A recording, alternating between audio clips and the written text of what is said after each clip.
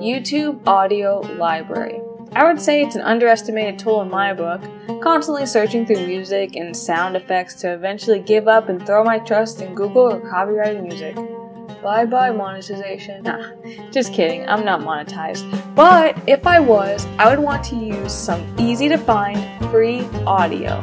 So I challenged myself to make a video with a song from YouTube's audio library. I already had an idea in mind, some Ratatouille, coffee shop in Europe vibes.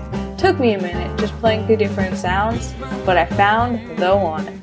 Next, I needed some props. Then I was set. Let's see how it turned out.